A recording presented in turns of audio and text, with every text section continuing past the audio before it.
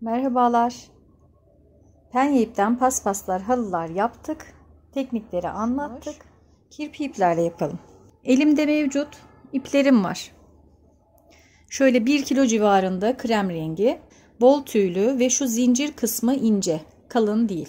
Bu inceleri daha çok seviyorum. Şöyle kalın da var. Bunlar da artmış iplerim. Ben bunları değerlendirip bir tane paspas yapacağım. Paspası yaparken de az renkten göbekten başlayacağız. Çok miktarda olanın dış kısmına uygulayacağız ve yuvarlak çalışacağız. Bunları çalışırken de yanına yine artmış yünlerimden birer adet olan az az olan iplerimi yanlarına katarak faydalanacağız. Kirpi iplerle ilgili bir şey söylemek istiyorum. Bebe hırkalarında, e, ceketlerinde ve etol şallarda, abiye şallarda kullanılıyor. Kullandığım için sizin de faydalanmanızı istediğim bir bilgi. Kirpi ipin şu markası çok güzel oluyor. O etol bir tane şal var. Fantazi arasına başka bir ip de takılıyor. O çok güzel bir model. Ve yine e, kızlar için hırkalarda, ceketlerde şu normal uzunlukta. Bunu tavsiye edebilirim. Çok uygun fiyata almış olduğum şöyle kelebek iplerim de var. Bunları da katmak istiyorum. Şu şagi halıların tarzlarında bazılarında bu kullanılıyor. Böyle halılar var. Dikkat ettiyseniz eğer. Kirpi iplerin yanına kullanacağımız ipler. Şu bir Nako pırlantanın kalmış ipi mesela. Bu tarz ipler, koton, leke tutmayan ipler kullanırsanız daha güzel olur. Bu ipten şimdi örgü gözükmez anlamam demeyin. Güzelce anlatacağım. Farklı bilgiler de vereceğim sizlere. Daha öncesinde paspas, penye paspas yaptık. Bir 2 metrelik yaptım. Bir 90 santimlik bir tane dikdörtgen. Kilim gibi genç odasına yaptım. O çok daha güzel oldu. 5 adet 4 adet zincir çekiyorum. Tığ olarak 10 no 6 milimetre. 6, 7, 8 no kullanabilirsiniz. Elinizin sıkılığına göre. Zaten kirpileri kalınlaştıracağı için çok kalın veya çok ince şişe işte tığa gerek yok. Halkayı kapattım. Burada sihirli halka yapmıyorum. Normal zincir halka yapıyorum. İlk sırada bir adet zincir çekeyim. Şöyle orta kısmından 1 2 3 4 5 ve 6 adet sık iğne çalıştım.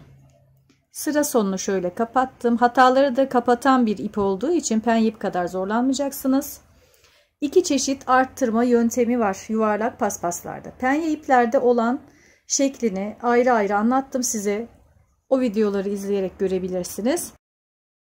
Orada yapmış olduğum arttırmada aralarda arttırma yaptığım için hiç arttırdığım belli olmuyor. Tam bir daire görüntüsü oluyor. Penye ipte zaten düz bir görüntü. Burada diğer yöntemi uygulayacağım rahatlıkla çünkü şey yok. Kirpi ipten dolayı model belli olmayacak. Şimdi burada o modeli anlatacağım. Önce iki zincir çekip yukarıya çıkıyorum. Ve yine dip kısmına aynı yere ikinci trabzanımı çalışıyorum. Üçlü trabzanda çalışabilirsiniz. Ben ikili trabzan çalışacağım. Sık iğne de yapabilirsiniz. Ama böyle daha çabuk biter. Sıradaki ilmeğimi ben burada ilmeği görebiliyorum. Bir yine aynı yere iki Renk de şu anda harika oldu. Yandaki ilmeğe kayıyorum.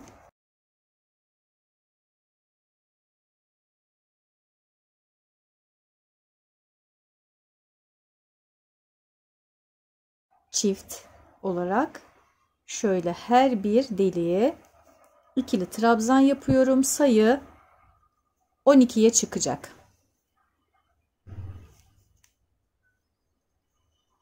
Çok rahat örüyorum. Çünkü kirpiler ara boşlukları zaten dolduruyor. Hatta 7 no ile bile örebilirim. Rahatlıkla makineye atabilirsiniz. Bebek battaniyesi yaparken bile kendi renginden içerisine ip kattığınızda dokusu çok daha güzel oluyor. Dümdüz örün mesela.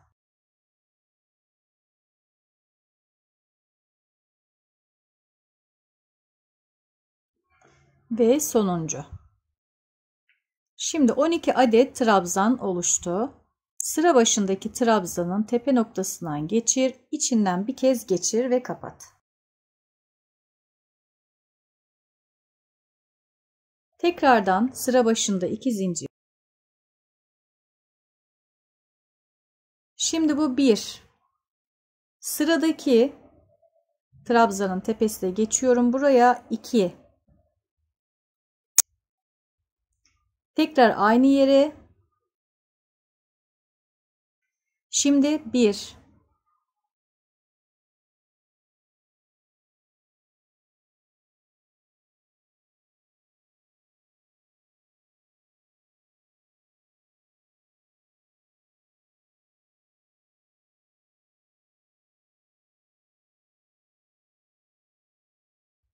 Bir.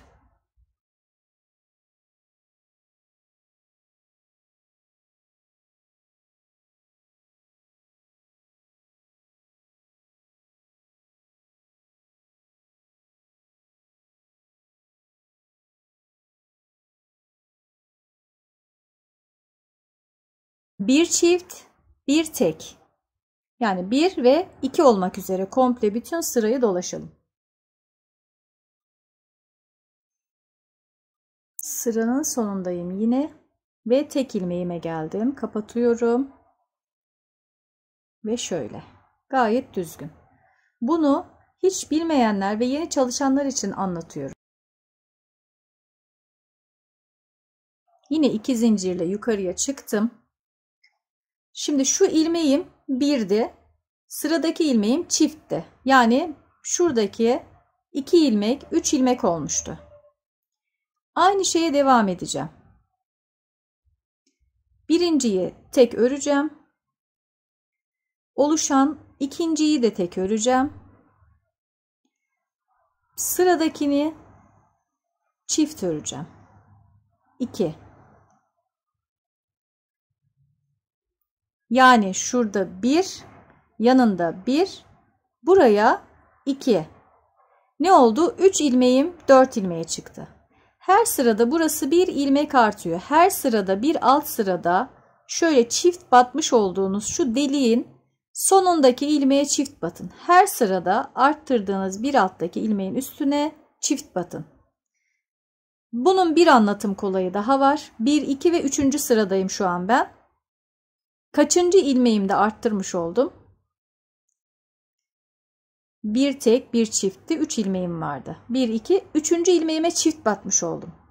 Bunun en pratik anlatımı bu. Bir iki ve üçüncü sırada üçüncü sırada bir iki üçüncü ilmeğe çift bat. Şimdi yine ne yapacağım? Alttaki ipin çift batımını buradan takip etmem zor olacağı için hemen pratik yöntemi uyguluyorum. Bir 2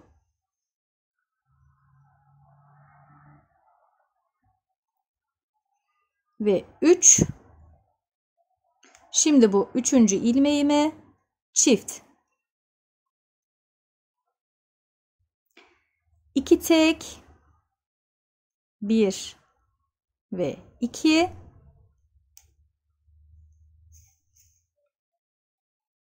üçüncüye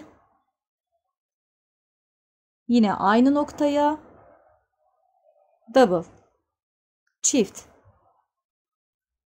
Bu sefer ne olacak?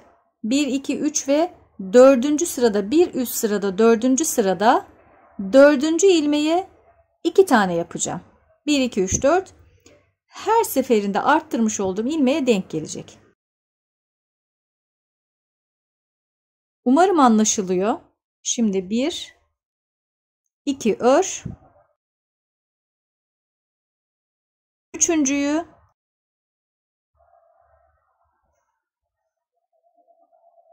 basit bir kural.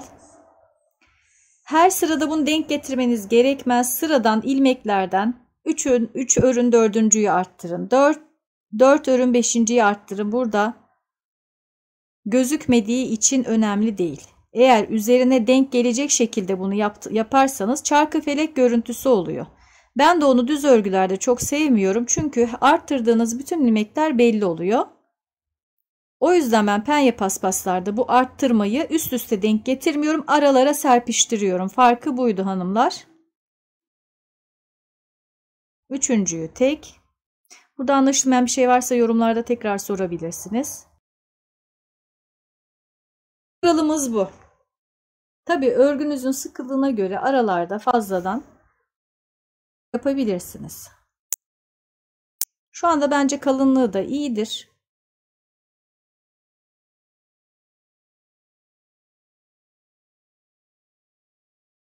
Arttırma boyutuna göre makinaları atabilirsiniz. Üçüncü sıra iki tek bir çift. Sırayı tamamlayalım. Pembe ipim sonlandı. Renk geçişini göstereyim. Sıradaki kombinim şöyle bir lila zincir ip artmış ve şöyle bir lila kirpi ip yine bu da artmış bir ip. Şimdi renk geçişi yaparken 3 sıra sık iğne sırası hariç sayı satırları söylerken onu hariç tutuyorum. 3 sıra trabzan geçtim. Şimdi şurada sık iğne sırası hariç 3 sıra trabzan ördüm. Şimdi renk geçişinde şöyle sıra sonu kapatmasını yaparken şu yeni ipi içerisinden geçirin. Bakın sıfırlandı. Ve arkadan daha sonra şu iki ipi düğümlersiniz.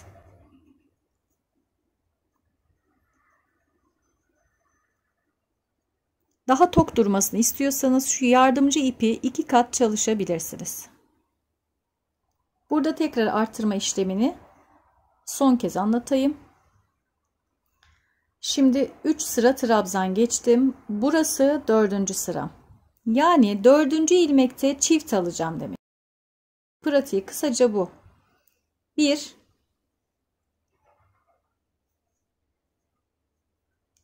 2 3 ve şurada 4 bunu 2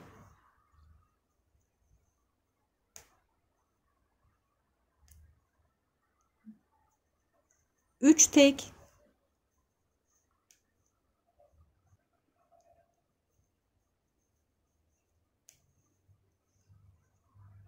Bir çift.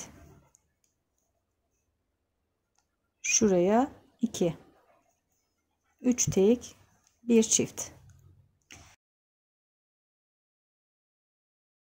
Örgüyü bir kere de yapıp bitirmeyeceğimize göre hele de paspassa aralıklı olarak öreceğiz demektir. Arttırmayı şaşırmamak için ne yapacağız? Ara verdik. Tekrar örmeye başladık diyelim ki. Hemen kabaca şuradan itibaren 1, 2, 3, 4, 5, 6, 7, 8 diye sıramızı sayacağız. Baktık 50. sıradayız. Demek ki 50. ilmeğe çift batacağım. İşin püfü bu arkadaşlar. Tabi bu tek tük e, tolerans gerektirir. Birkaç tane de fazladan batmanız gerekebilir. İpleri kombin yaptığınızdan dolayı kalınlığı değiştiği için. Şu anda ben yardımcı ipi iki tane uyguluyorum. Üç kat yaptım. Nasıl isterseniz. İsterseniz iki kat kirpi ip yapın. Biraz daha kalın yapın. 9 numaralı ürün çok daha çabuk bitecektir. Ama tabi biraz daha ağır olur. Bu aynı teknikle 4. sırada 4. ilmeğe, 5. sırada 5. ilmeğe çift batarak Şimdi yine aynı teknikle, mantıkla 7. sırada 7. ilmeğe, 8. sırada 8. ilmeğe çift batarak bir miktar paspası ilerleteyim. İlerideki renklerde görüşelim tekrardan. Şöyle bir 10 sıra kadar ördüm. Bu ipin özelliği şu kısmı polyester makrome kalın polyester makrome kalın ip gibi baya bir kalın.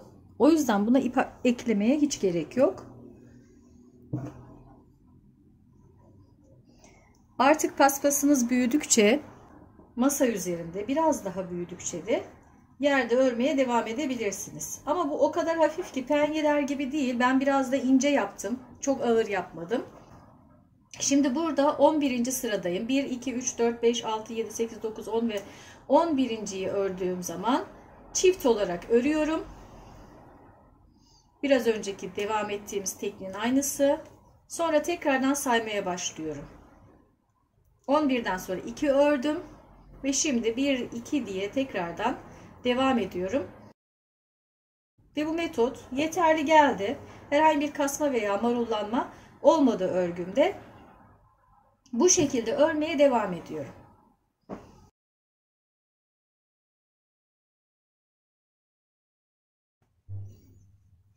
Evet kalın sarı açık buğday sarısı kısım bitti. Şimdi biraz daha koyu sarı vardı. Ona geçtim. O yine normal yumuş ip olduğu için şöyle iki kat ince çok kaliteli olmayan bir yün. Onu yanına koyuyorum. İhraç fazlası iplerden yararlanabilirsiniz maliyeti düşürmek için. Şuradan itibaren 15. sıramdayım. Şurası sıra başı 1, 2, 3, 4 ve 5.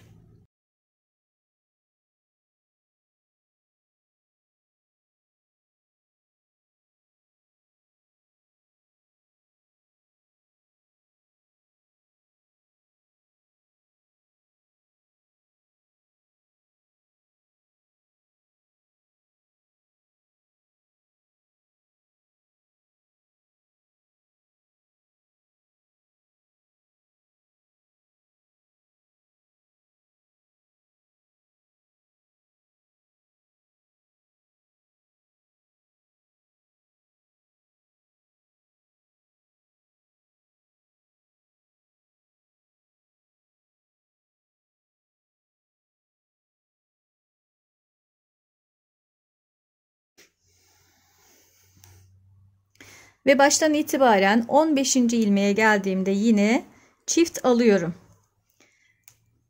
Şu sarıdaki gibi kalın bir ip kullandıysanız bayağı dolgun bir ip. O zaman alt sıra yumuşak olduğu için normal olduğu için onu mesela 15. sırada 15. ilmekte değil de şöyle 17-18. ilmekte çift yaparsınız. Marullanma olmaması için kalın ipe geçişte konuşuyorum bunu. Kalın ipten ince ipe geçtiğinizde de aralarda birkaç tane yine fazladan arttırma yapabilirsiniz ki dengelesin. Bu artık örerken sizin yapabileceğiniz şeyler. Bunu nazar boncuğu şeklinde koyu da maviden açık maviye doğru beyaz veya sarı göbek oluşturarak genç odalarına, erkek bebek odalarına kullanabilirsiniz. Yine bu tarz cıvıl cıvıl renklerden, lila tonlardan yatak odalarına yapabilirsiniz, kullanabilirsiniz. Küçücük örüp sadece televizyon koltuklarının önüne ayak altına da koyabilirsiniz. Krem renkte güzel bir salon halısı da yapabilirsiniz. Ve bu şekilde sıra sayısına geldiğimde iki defa trabzan örerek devam edeceğim. Şimdi şöyle bir şey daha var. Tığla ördüğümüz zaman iplerin kirpi kısmı, dolgun kısmı tersinde oluyor. Şurada trabzanın düz kısmında biraz daha az oluyor. Evet ben hala örüyorum devam ediyorum. Renklerim biraz cıvıl cıvıl. Kenarda krem ile daha pastel bir renk oluşturdum. Şurada kelebek pembe ip vardı. Onunla krem rengini karıştırdım. Kelebek ipler bu şekilde oluyor. Bunun şöyle kısası ve uzunu oluyor. Ee, şallar yapılır genelde. Çok az bir ipim vardı. Onu da karıştırdım. E, çekinmeyin karıştırmakta. Bakın tersi daha tüylü. Alt kısma tüylerin uzun kısmı geçiyor.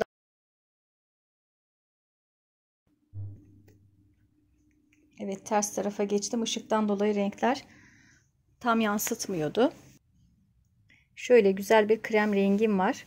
Bu kirpi iplerde çift taraflı sakalları olduğu zaman daha yoğun olur, daha kabarık olur örgünüz. Bunun bir de tek taraf olanları var şu şekilde. Çiftler daha uygun oluyor. Ve örmeye devam ediyorum. Ee, içerisine şöyle bildiğiniz normal beyaz küçük küçük iplerim var. Çok az az kalmış yumakların göbeklerinde. Onları da ilave ettim. Krem de ilave ettim. Hafif böyle renk tonu geçişleri var. Şu anda yaklaşık olarak 115 santimetre civarında. Evet bir miktar daha devam edelim. Evet örmelere doyamıyoruz. Örmeye devam ediyorum. Ördükçe o kadar güzel oluyor ki. Tabii benim renklerim biraz canlı. Siz istediğiniz dekora göre değiştirebilirsiniz. Ama dokusu çok güzel. Kış için özellikle harika bir küçük hala veya paspas, paspasların modern hali diyelim. Şu şekilde elimdeki iplerden içine hep geçişler yaptım. Kelebek ipler kullandım. Normal beyaz ip kattım krem ipin içerisine. Ve yine birkaç kat ipimi kullanarak devam edeceğim. Bu kış için hazırlamaya başladığımız paspasımız da bunun yanında yazın yapmış olduğum iki tane daha halı var. Bir tanesini de genç odası olarak çalıştım. Tasarım tamamen kendime ait. Battaniyelerde uyguladığımız iki tane modeli kullandım. Ve şöyle, bunun yapılışını da yukarıdaki bağlantıdan görebilirsiniz. Şöyle biraz ağır ama yaydığınız zaman yerde dekor olarak çok güzel duruyor ve kaymıyor, kullanışlı. Kirlendiği zaman şöyle 8 kiloluk makinalarda rahatlıkla yıkayabilirsiniz. Mavi ve gri arasındaki bir odada dekor olarak kullanıyoruz. Tek tarafı motifli, iki tarafı motifli olursa motif sayısı azalıyor. Karşılıklı baktırırsak ve ortadan birleştirirsek motif sayısı dengelenir. Ben kendim bu şekilde istemiştim. Renk geçişleri çalıştım. Şu görmüş olduğunuz kilimin yastıklarını yaptım. Muhtemelen onun videosu yayınlanmıştır veya bundan sonra yayınlanacaktır. Yıldız yastık çalıştım kocaman. Onu da burada göstermek istiyorum. İçerisine sünger kırpıntıları koydum. Bunun da yapılışı yine videolarım arasında var. Arka kısmını düz bir kumaş olarak çalıştım. Ee, kenar kısmında şöyle kordon görüntüsü verdim. Bunu da örgüyle çalıştım. İster düz tarafını ister örgü tarafını rahatlıkla kullanabilirsiniz. Şöyle dayanıklı kocaman bir yastık. Koltuklarda da kullanabilirsiniz. Şimdi paspasın yapılışına daha devam ediyorum. Bitmişini paylaşacağım. Bu tarz dekorasyon ürünleri çalışmalarımın yanında bolca çanta çalışmam var. Onun haricinde örgü desenleri çeşitli e, örgü örnekleri böyle göz alıcı, gözüme çarpan, sizin işinize yarayacağını düşündüğüm e, ilginç desenleri daha çok çalışıyorum. Onların videoları da oynatma listelerimde yine var. Facebook'tan, Instagram'dan, Pinterest'ten yine Emine Tokel Hobi Mühendisi olarak beni takip edebilirsiniz. 10 yıl öncesinde kurmuş olduğum blogumda ve sayfalarımda eski ismim Hanımeli Örgü Dünyası. Fotoğraflarda o amblemi gördüğünüz bütün fotoğraflar eskiden e, benim yayınlamış olduğum orijinal fotoğraflarımdır. Ve şimdi paspasımızın yapımına devam edelim. Halınızı paspasınızı örerken arada bir sıra sonlarında yere koyarak güzel bir şekilde yerleştirerek de kenar kısımlarının arttırmasının az veya çok olduğunu da gözlemleyebilirsiniz. Buna da dikkat edelim. Paspasımı aslında küçük halıyı tabii ki de örebildiğim kadar ördüm ama bu iplerin devamını bulamadım. Zaten elimdeki ipleri değerlendirmek için örmüştüm. Normal iplerle karıştıra karıştıra böyle kalın, güzel bir dokuya ve hacme ağırlığa sahip çok güzel bir örgü elde ettik. Ama bulamadım. Ee, belki de artık üretilmiyor mu? Bu kirpi iplerin, böyle uzun sakallı iplerin dip kısımları arada kullandığım, şurada kullandığım gibi floş makrome ipi kısmının kalın olanlarından var. Bunun gibi ince olan ve uzun tüylülerinden yok. Saltıklarınki de daha çok. Giysilere uygun olduğu için kısa tüylüydü. O yüzden onları kullanmadım. Ve burada paspasımı sonlandırmak durumunda kalıyorum. Kenar kısmının yerde daha sabit durabilmesi, ağırlığının biraz daha artabilmesi için ve birazcık daha büyümesi için penye ip ile renklerine uygun bir penye ip ile tamamlamasını yapıyorum. Tamamlamaya çalışıyorum. Burada göz kararı yine 9-10 milimetre tığ kullanıyoruz. Şuradan itibaren normal sıra başından başladım. 15 ilmek boyunca mesafede herhangi bir sıkıntı olmadı. 15 ilmekten sonra 16. ilmekti. Şurada çift batarak bir tane arttırma yaptım. Bu şekilde devam edeceğim. Paspasın yuvarlaklığına göre marullanmayacak veya toplanmayacak şekilde oluşturmaya çalışacağım. Zaten penye iplerin avantajı budur. Böyle güzel bir doku elde edersiniz. Bir ağırlık elde edersiniz. 15 tane bir artırarak yapacağım. Arada dengesizlik olursa daha mesafeyi kısaltabilirim, uzatabilirim. Bunu artık herkes kendi durumuna göre ayarlayacak. Şu anda 6 tane ördüm arttırma işleminden sonra. Şu şekilde alıyorum ve normal yine ikili trabzan olarak düz yüzeyden örüyorum. 9 10 11 Şimdi bakıyorum. İpimi ortadan çektiğim için biraz dönük geliyor. Onu şöyle birazcık düzeltebilirseniz daha iyi olur. 11 tane ördüm. Bakıyorum kenar kısmında herhangi bir dengesizlik var mı diye. Şu anda iyi gidiyorum. Ama hafif kenar sağa doğru eğik. O yüzden ne yapacağım? Burada bir tane arttırma yapacağım. Trabzanımın düz durması lazım. Dengede gidebilmem için. Önemli olan budur. Kaç tane de bir yaptığınız değil. Ama tabii bir, bir 5 trabzan örerek arttırıp bir de 15 trabzan örerek arttırmak olmaz ama bir iki tane arasında farklılık olabilir. Bu şekilde tamamlıyorum. Evet bir sıra boyunca ikili trabzan olarak ördüm. Şöyle ip genelde 650 gram civarında kilo hesabı satılan penye iplerden herhangi bir markası yok. Bir sıra yeterli görüyorum çünkü ipin dokusu farklı olduğu için çok göze batmasını istemiyorum. Ve örgümün kenar kısmının tamamen yuvarlak olması arttırma kısımlarının belli olmaması için bir sırada biye geçeceğim. Penye paspaslarda sıra sonunda ilmeğin geçişini de gösterelim. Daha önce iki tane projede göstermiştim. Şöyle arkasından başlangıç ilmeğini alıp son ilmeği arkaya doğru çekiyoruz. Ve sonrasında şöyle bir gerisinden dolur.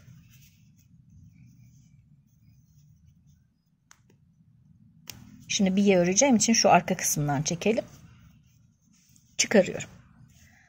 Arttırma veya eksiltme yapmadan ama ilmeğin uzunluğunu dikkatli bir şekilde ayarlayarak şöyle her zaman yaptığımız gibi tek tarafından alıyorum içinden geçiriyorum. Normal bir şekilde çok sıkı değil bir kenar biye sürüyorum. Hem kenarımız daha güzel gözükecek hem de kenar dikişi gibi şöyle tek tarafından alıyorum. Bunu patiklerde, çantalarda pek çok örgünüzün kenar kısmında uygulayabilirsiniz. Evet paspasımız nihayet bitti. 125 santimetre çapında. Şöyle biraz daha tabii büyük istiyorduk ama iplerimiz de bu kadar oldu. Harika bir doku oldu. Kenar kısmı oturacak. Penye ipler öyle. Biraz üzerinde yürüdüğünüzde sadece penye ipten paspas yaparsanız da öyle. Kullanıyorum. Yaptım daha önce. 2 metrelik de bir tane yaptım. Böyle üzerinde yürüdükçe yatışan bir dokusu var. Yıkadığınızda da öyle oluyor. Bu ipten küçük bir paspas yapmıştım. Yıkayınca böyle kabalaşıyor ama sonra yeri atıp üzerinde birazcık geçtiğiniz zaman, bastığınız zaman aynen yerine oturuyor. O yönden ben seviyorum penye paspasları. Ve rahatlıkla da makinede yıkanıyor. Yani şimdi umarım iyi bir fikir olmuştur sizlere de. Zaten pek çoğunuz yapıyorsunuzdur. Ama ben böyle yardımcı iplerle dokusunu kalınlaştırmayı çok seviyorum. Daha kullanışlı hale geliyor. Çok kolay temizleniyor. En güzel tarafı budur. Kirpi iplerde leke tutmaması ve kolaylıkla yıkanabilir olması.